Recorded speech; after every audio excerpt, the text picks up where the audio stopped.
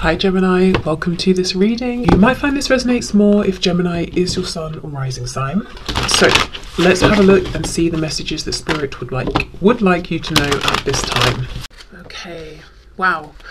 Okay, I feel this reading might be a bit of a not a telling off, but like a pointing out, a reminding of or a reminder of something you know, something where there's repetitive behavior that's keeping you stuck, some kind of obstacle you're working through, because this card came out very quickly. It's like your higher self is desperately trying to get this message through to you. It's probably not going to be the first time you've heard this message, and it's around something that isn't moving forward in your life. So let's keep going. Yes, Four of Swords. Um, I think this is your higher self being a bit firm and saying something's not moving, something's not changing, you could be doing more. So, what I will say is if you don't want to hear um, a tough love message from your higher self, this might not be the reading for you at this time.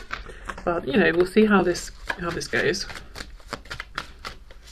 You might think you don't have the answer, is what I'm seeing, but actually you do. King of Pentacles. For some of you, it could be to do with work, money, um, something to do with the practical realm. Okay, so there's a feeling almost of defensiveness, like I don't want to hear this message. If I knew what to do about this, I would have done it already. But you see how he's laying down and there's a sword underneath him. For me, that's like the ace of swords. So the truth is there. It just might take a bit of digging around um, to find it. Okay, what else please? Messages for my viewers from their higher selves. We have the Nine of Wands, so it's a situation you're tired of. Uh, maybe you feel like you've been struggling forward with this for some time. You might feel kind of alone in this as well, actually, or like you have to be on guard, you have to be defensive. I will put these back as we've got quite a chunk that fell out, but I can see the Three of Wands. So there is part of you that's saying, I want better, I want something more here, or I want a new situation, I want to move forward. I'm looking out into the future. I also feel it could be something where you sit down, you think about this for a while, but then it's time to do something else. Like there could be distractions that come up um, that keep pulling on your focus here. It's not something that's going to be figured out overnight, is what I'm seeing.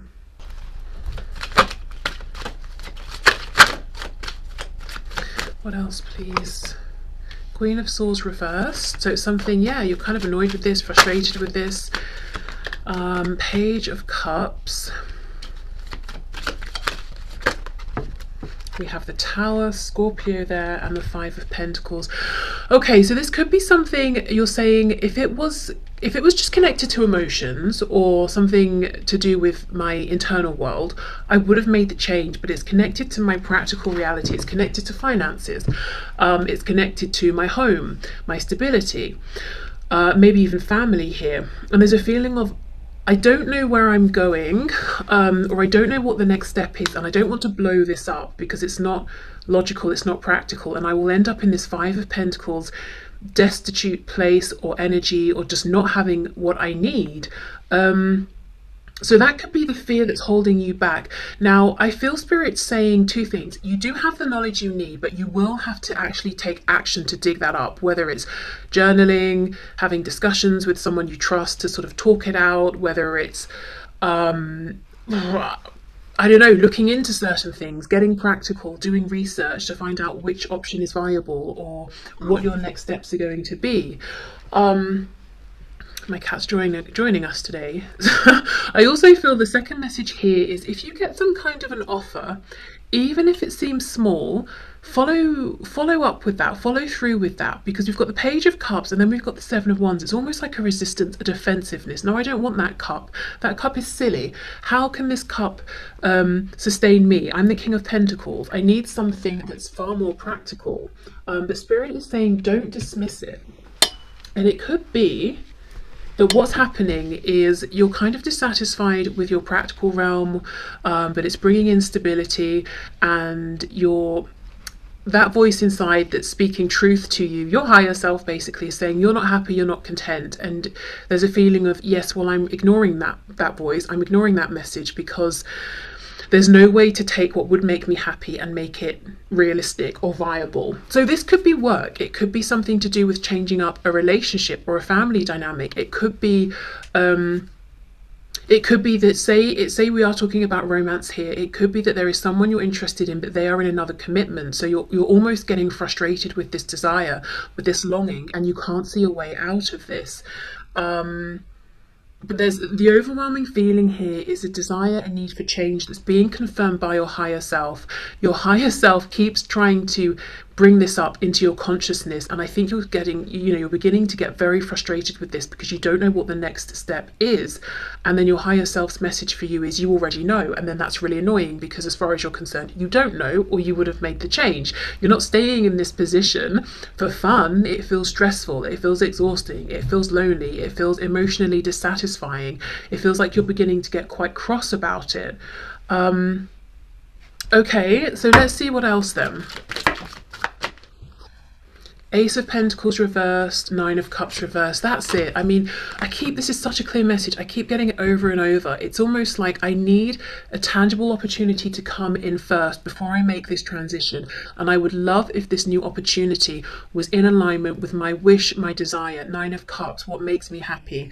Um, but you're not seeing that opportunity just yet.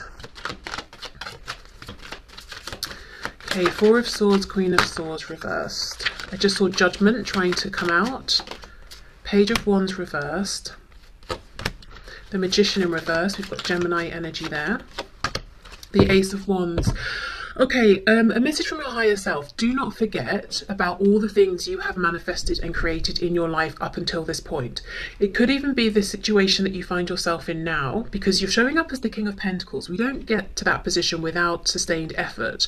So it could be at some point this was something you wanted, this was something you manifested, this was something you worked for.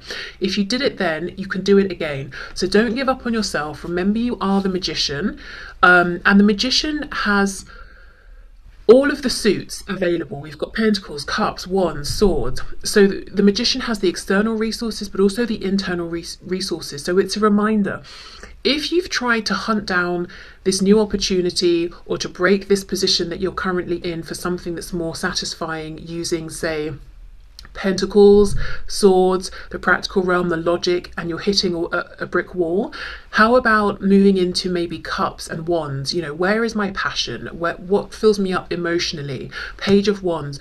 What would get me so excited that I would willingly start on a new journey feeling completely inexperienced and unprepared with nothing but my enthusiasm and commitment? What gets me that fired up?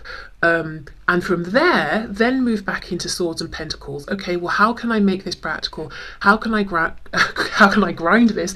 How can I ground this? What opportunities might be available for me around this um, passion that I have? So you're being guided to think about what fires you up, what gets you excited. Um, even if it seems completely impractical, even if it seems like, well, I can't make work out of this, I can't make a business out of this, or I can't bring in enough money. Um, or I don't know if it's a hobby, maybe I'm too late or too old. You know, certain certain activities we think of as having cut-off points in terms of age. It's almost like, well, allow yourself to to have that feeling before you shut it down, and then and then think, well, actually, maybe there is a way. Um, when I was younger, ballet was very you know you have to start when you're age three or that's it and now there are all these classes popping up at gyms like um, ballet barre workouts or whatever they're called and i see um, advertisements for adult ballet classes and stuff you know so so things um, have changed. Don't know why i'm giving that message. Things have changed you know. Society has moved forward. Um, but yeah have a look around. It might be that there is something available now that that there wasn't before. Even if we think of everything with the pandemic you know so many things have moved online now. So many more people are working from home working remotely other um careers have popped up you know um, things that people are doing selling that maybe wasn't in demand before that is now. So things have changed a lot even just say within the last few years. So it's definitely worth checking in even if it's something you looked at before and there wasn't a way forward. Maybe maybe it's it's come along now you know and there are new opportunities. Um, okay. Let me have a look at this page of cups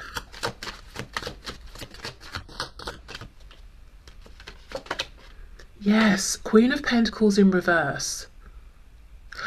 I think some of you have had an opportunity and you're kind of resisting it, and others of you may have an opportunity coming in and you might be inclined to resist it because it's it's a thing of well, yeah, that's very nice, but it's not actually going to help me long term here. It's just delaying. And actually, the message from Spirit is you might be surprised with how far this Page of Cups opportunity can go. Um, something that seems like it's bringing in a bit of emotional fulfillment or it's a nice distraction.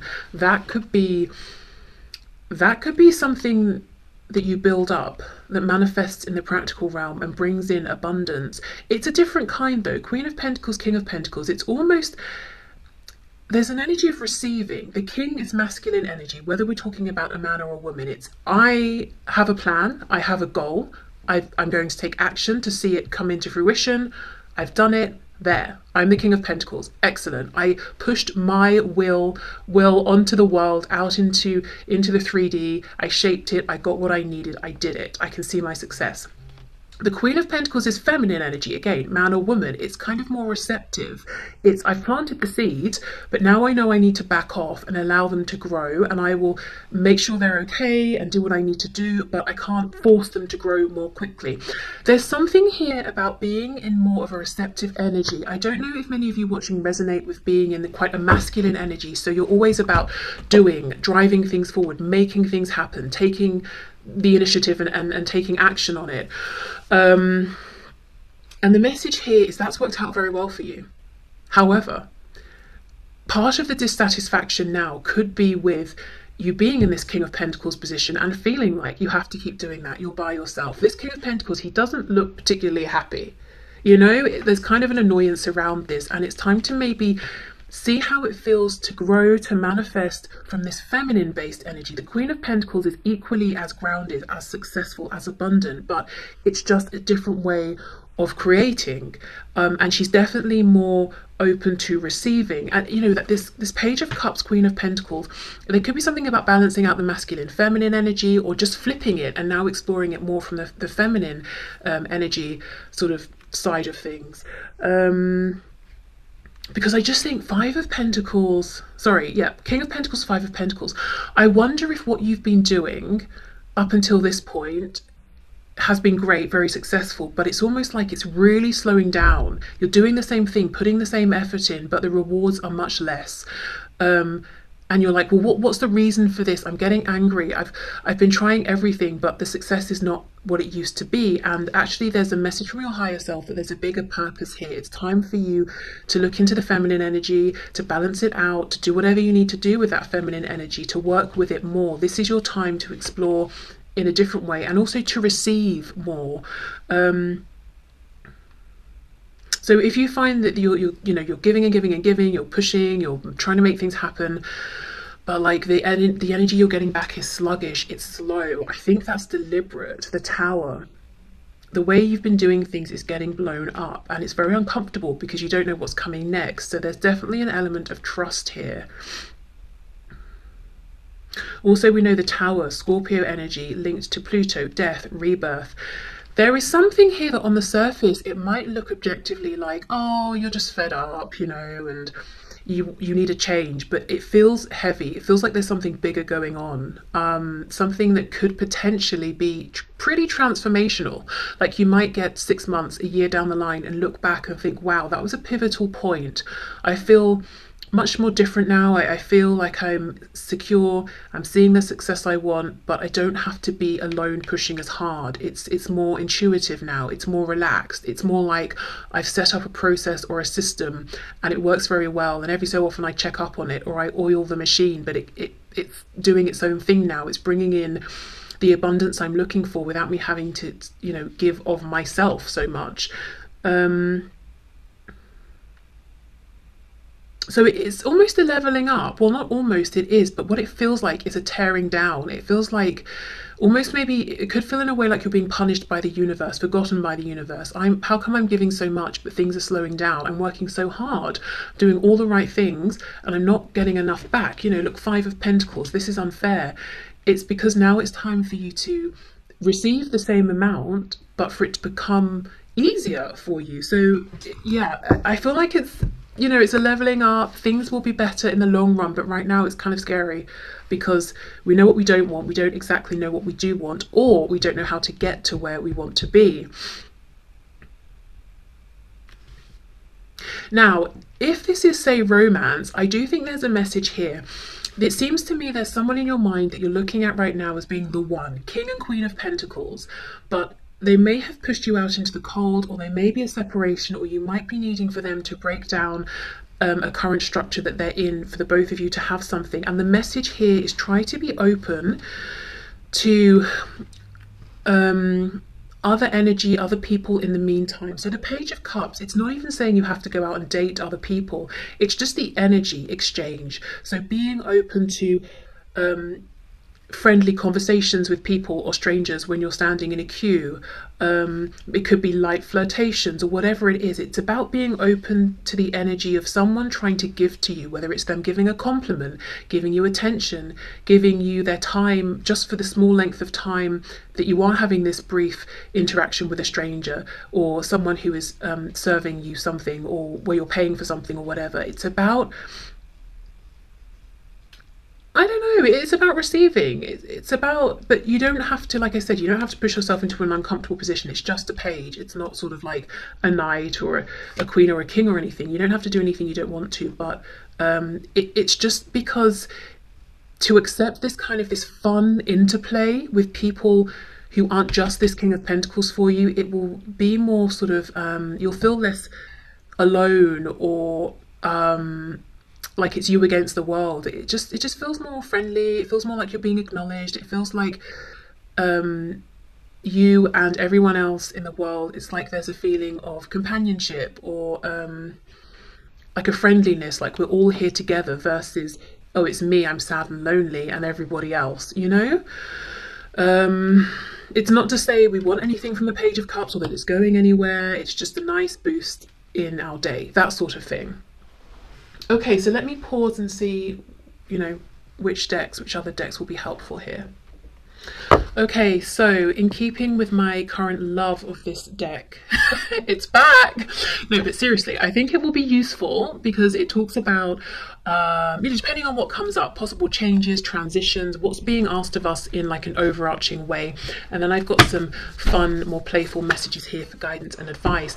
So just to sort of sum up what we saw with the tarot cards, um, I think what your higher self is trying to suggest as your next concrete step is to be more open, to be more receptive. The universe is trying to give to you through opportunities, people, situations. Don't write off anything or anyone just because it seems like it's not the end goal. It's not big enough, it's not secure enough, it's not the person that you want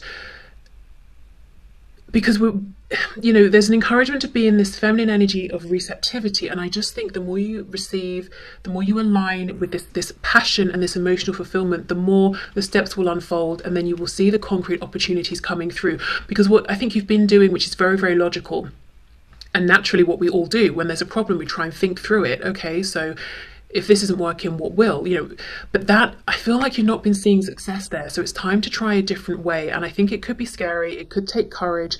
It's hard to to be in a situation we're unhappy with and to think, right, well, I'm just going to go with the flow. It feels lazy. It feels complacent. It feels that things will never change and we're just giving up. But actually, you know, if you feel that way, ask yourself, well, I've been trying. Have I had success? No. So I might as well, you know, try this other way. Do I think the way I've been doing things is going to suddenly bring in success overnight? Probably not. I've been trying for a while. So let me change it up. If I don't like the change, I can go back to what I was doing before. Um, so, even though it's a situation that's very much about the tangible 3D world and maybe money or relationships, those big concrete things, I think the path to get there, to make this transition, to get across the bridge, is through smaller, seemingly transient things like these random interactions or following bursts of inspiration here and there. You know, it doesn't quite logically make sense, but I do think that's the path forward. And being kinder to yourself, not saying, oh my my inner child would love to do this today but that's stupid you know it's not sensible it's not doesn't mean anything. It's not going to last. It's about saying, I would love to do that. I think I'm going to do that. I have the time. I'll do it, you know? Um, okay. let's have a look. So, what else, please? Messages from my viewers from their higher selves.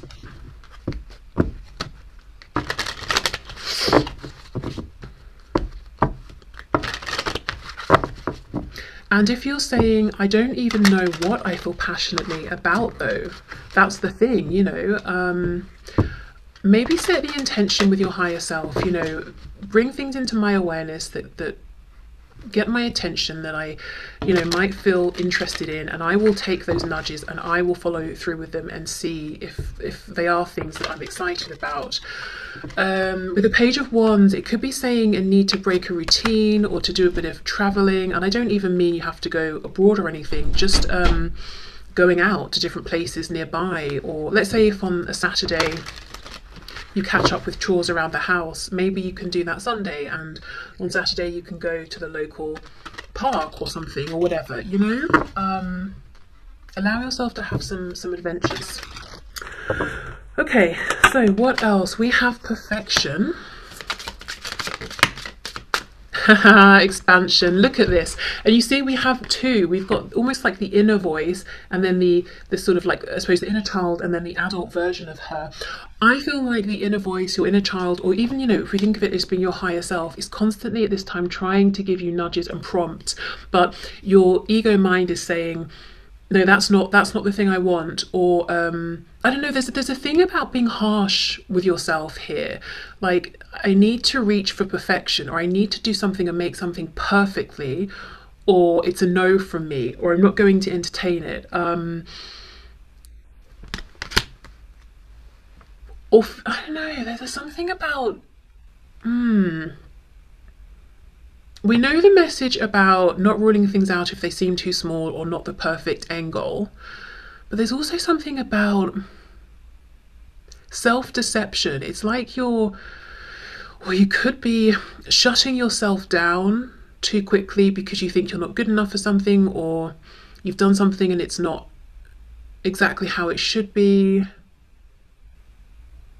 Let's say, for example, um, someone wants to again, going back to the thing of joining a team sport or hobby or something, someone wants to go and do something, but they're like, well, I'm starting too late and I won't be as good, or I'm okay at it, I'm not good enough to join a club. You probably are, you know. I mean, not every when when people start something, they're not expected to be perfect. You can hone your skills after you've joined the group or the club or whatever.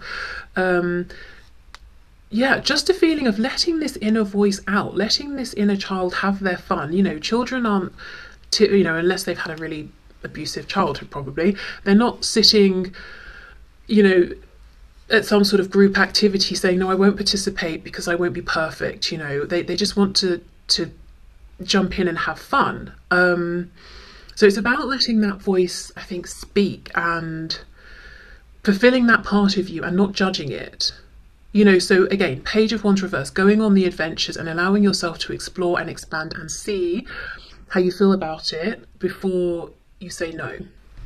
And then we have expansion. So, of course, you know, the way to expand at this point is through uh, passion and emotion, the wands and the cups. Okay, we have impasse, exactly banging your head against a brick wall. You might feel like you've been standing here forever trying to get past this guy who's like, no, you, you know, what you've been doing is not working. And you're like, well, what will work? And he's just saying nothing.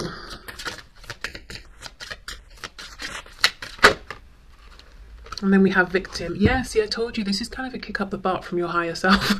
it's like you're saying you're at this blockage and it's making you feel like a victim. And we get why, because we have seen the effort and the energy you have applied here. You have not just laid down and cried, you've actually been trying. However, we're just trying to redirect you to try in a different way. So I'm not going to keep going on, but I do think the logic, the rational thinking is not yet the way. That will have a part to play very soon but um, for now, it's let this inner voice, you know, um, guide you. And that's what's difficult because we grow up and, and we're told that doesn't make sense anymore, you know. Um, and now you have to suddenly listen to it and let it dictate your choices, obviously to to a degree, to an extent.